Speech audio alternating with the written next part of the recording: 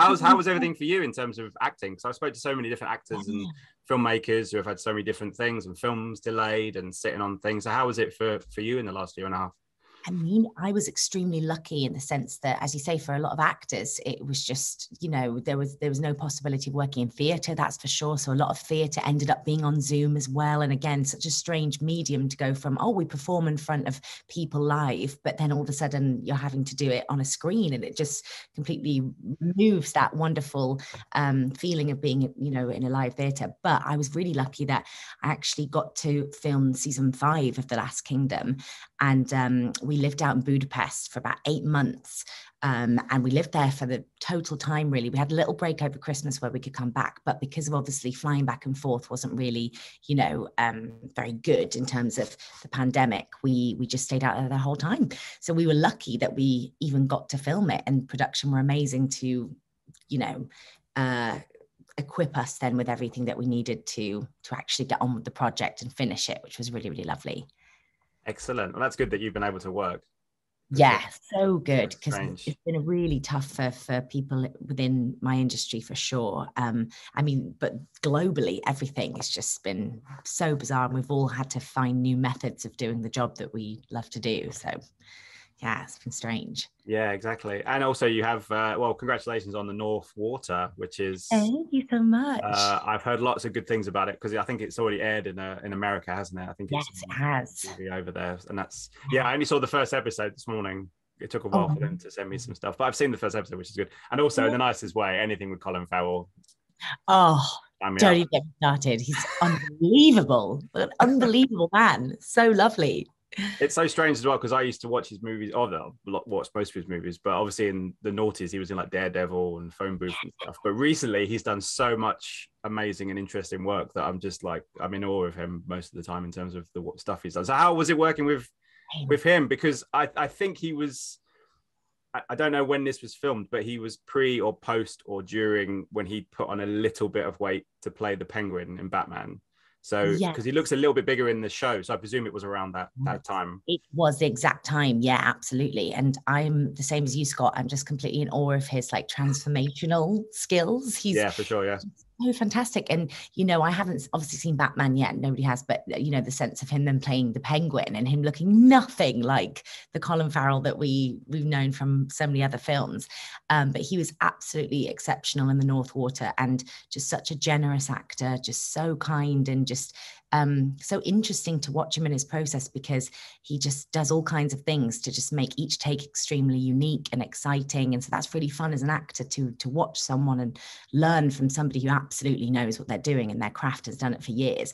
And yeah, you pick up little techniques and skills and they go, oh, wow, because he does just try all kinds of things. And then all of a sudden you've got this amazing three dimensional dynamic performance and it's gorgeous. And I just think he's an unbelievable actor. So um, I was just felt so honored to be anywhere around him. I was like, yay. and it's um, not just him as well. I mean, you've got Jack O'Connell, you've got yes. Stephen Graham.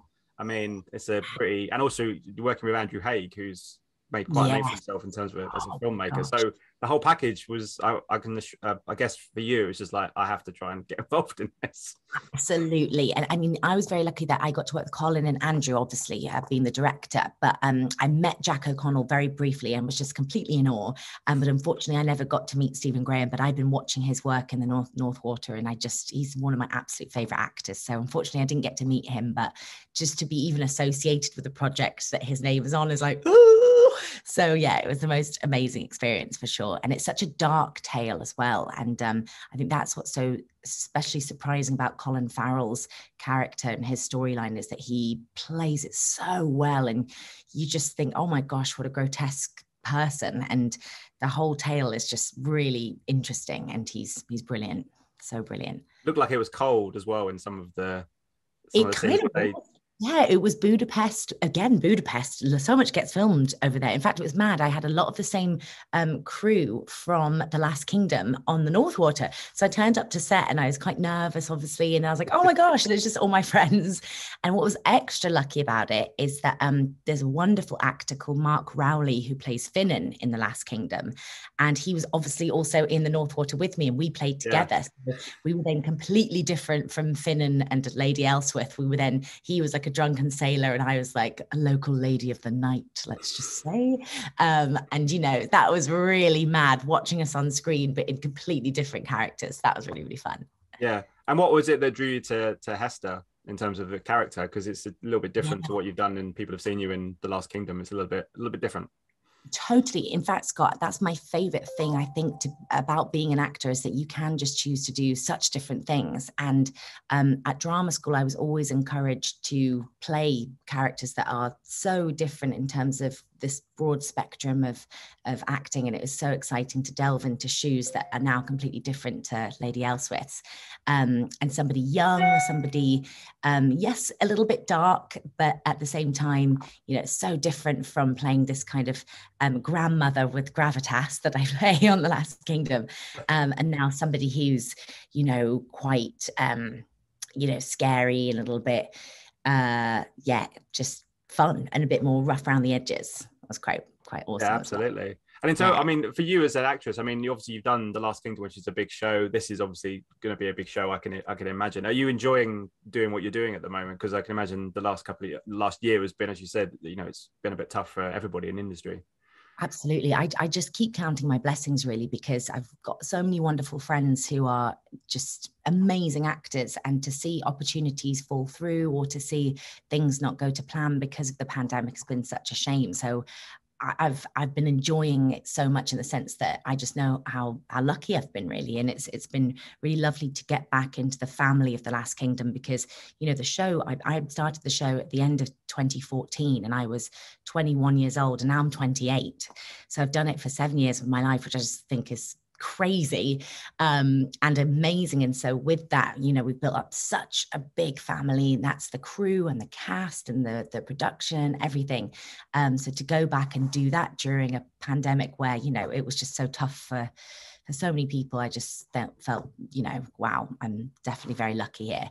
Um, and then what's extra fun is that when I came back from Budapest, um, I actually landed my first ever professional theatre job, um, which I'm currently in right now. So it's all been a bit woo, um, uh, which is called The Windsor's Endgame uh, in Piccadilly Circus. So that's been really, really fun. And again, it's completely different from Lady Aelswith because it's a comedy. It's about the the modern royal family, but it's super hilarious, ridiculous, um, and again uses skills that I haven't been able to apply to Lady Aelswith, but have have you know got these skills deep down, and now I've been able to use them. That's theatre skills, comedy skills, you know, lots of things that I haven't had to, um, yeah, portray for a while. So now it's been really really fun to do that.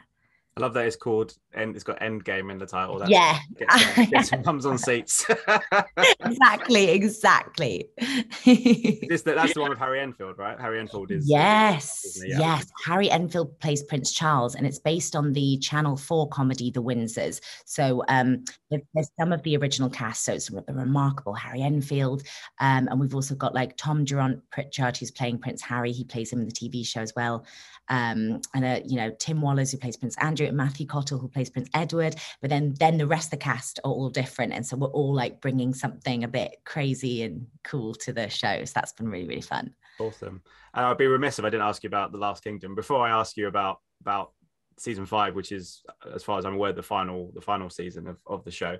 How mm-hmm. long into the process did you guys get a sense of how big it was? Because I, I knew it was a big show, but then seeing when you've been to conventions and seeing, you know, online and everything else, there is such a feverish, massive fan base for this show.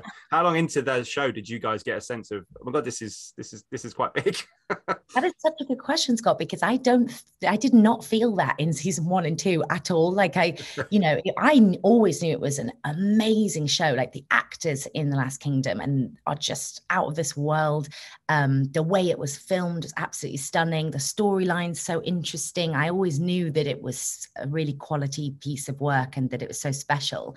But I feel like it didn't really gain the audience we maybe thought it would from the beginning until I think season four, funnily enough, during the pandemic, where um, season four launched in like the sort of spring of 2020. Yes, it would have been spring. And it just boomed. And we were all like, what? And all of a sudden, the fan base of the whole show just grew like crazy. And I think potentially it's because a lot of, of people love shows like Game of Thrones, for instance. And obviously, when Game of Thrones ended, a lot of people then had like a bit of a void um, and probably thought, oh, what shows are of this kind of genre ish? And I know ours is not technically the same genre because it's not fantasy, it's more historical, but um, it's of that ilk in terms of that really wonderful escapism. And you get to see the battles and kings and queens and all this kind of stuff. So I feel like a lot of people then gravitated towards Last Kingdom, thought, oh, I'll give this a go. And then we're like really pleasantly surprised to find that it is such a gem. And I think there's something quite sweet about that because we're more of an underrated show, which I think is really good because then when people stumble upon it and then commit to it, they're actually like, wow, this is mind blowing. And I think because the characters are so phenomenal and everything is has been written in such a beautiful three dimensional way that you can't not fall in love with the characters. You can't not get invested with their storylines. Um, and yeah, and the acting is just so phenomenal. And so I feel like it was season four, funnily enough, where we were like, okay, we've made it. Finally, we've arrived in the room.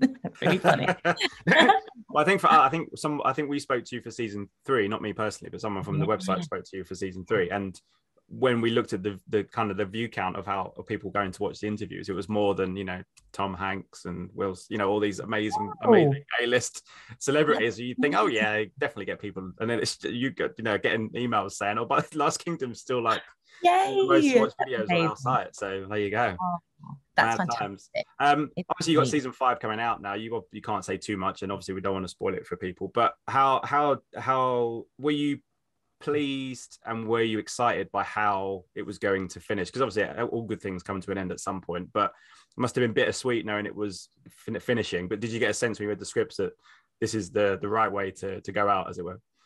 Absolutely. I mean, the writers are mm-hmm. just phenomenal. And we've had a couple of the writers from season one all the way up until season five. So they really know our characters inside and out. Um, and obviously, with the end of anything, it feels like things have to be closed or things have to be wrapped up. But I think within the season, it doesn't really feel like that in a in a sort of okay, here we are now, we're done. It, it's it's not like that at all. I think it still leaves room for for you know the imagination of the audience, and it's it's just it really goes on a journey, I think, of family, if we were to think of like a theme of the show. And that's um, how I meant in the sense that it's so character driven that you end up just loving characters and really, really caring about them. And especially, I think, in this season, because it's all about family. So, Uhtred obviously is our protagonist, um, phenomenal Alexander Dreymon. And um, he, his sort of whole storyline is is about how he's dealing with his children. They've they've grown up now, so season five kind of moves on a little bit from the end of season four, um, and they're very much then independent people, and they want their own things, and that's extremely differing to what he wants and his motivations. And then the same thing goes for me. So not only am I a mother in this season, but I'm also a grandmother, which, you know, and I was a grandmother in season four as well. But now my grandkids are like this. um, um, it's amazing, obviously. And it's the same with with my family in terms of Aethelflaed and uh, King Edward are my children, and they've got their own children, and all of us are dealing generationally with trying to control or persuade or uh, look after, protect these people that we love. But at the same time, there's so much anguish and there's so much um, sort of turmoil with with what people want, and especially with King Edward, because he is now the ruler and no one can tell him what for. Where, whereas our dynamic and relationship back in the day was that I was still more superior because I was older and I'm, you know, sort of um, more versed in how to to be you know uh, a leader back in that day or at least you know I, I was watching king alfred be a leader but now in this particular season king edward's he's like, no, I'm running the the roost. Don't even try and tell me what to do. So it's really interesting to see then all the power dynamics between people. And of course, there's battles and there's love and there's lust and there's you know all the wonderful things that we want to see. But at the heart of it, I feel like the theme is truly about family and watching those families break and seeing how they might come back together. And it's it's really moving actually. I think it's it's going to really tug at people's heartstrings and it's a really really special season really special yeah, yeah. exciting as a final question then how much are you going to miss Aelswith because obviously you spent five years with her many episodes you've you know spanned lots of lots of time with her how much are you gonna are you gonna miss playing her Oh, Scott, I'm going to miss her so much. I think it's mainly because she's such an interesting character. Because obviously, at the beginning of the show, I was playing her the way she's sort of written in the books that she is this very pious, very severe, you know, woman, extremely intelligent, but she's not necessarily the warmest, most empathetic person, but extremely wise. So that was really, really cool because I was only 21 when I began playing her. So I was, you know, that's the sort of road I went down. And then the more although at the end of season one, there's a lovely moment where we see her with baby Edward in the marshes, where it mm-hmm. looks like he's dying. That's that. That was nice that they put that in season one because it again showed that she does have a heart. She is a mother. Actually, everything she's doing is only out of a sense of duty and loyalty to, you know, not only her husband King Alfred, but what is his mission of creating this united land of England or whatever. So so that was really nice. But then as the seasons have gone on, yes, she's still so sassy and fierce. And it's so funny because I'm not really that. I'm really like goofy, like woo. You know, I'm I would never say the kind of stuff that Lady Aelswith would say. I do not have the balls to do what she does. And yet I get to then play that. So there's something lovely about me as an actor getting to delve into those shoes and go oh wow I, I can be a bit of that then today. I can i can use those things that are deep down within me as eliza that i would never dream of doing or whatever and then getting to use that with this character. So that that i will miss dearly.